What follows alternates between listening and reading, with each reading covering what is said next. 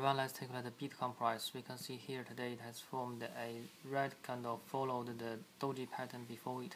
That means indecision. But as long as we keep above this line, that means we are still forming the handle part.